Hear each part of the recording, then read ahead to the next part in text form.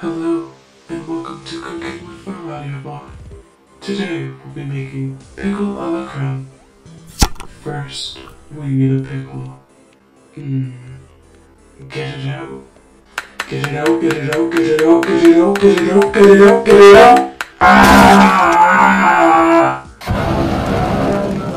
Oh.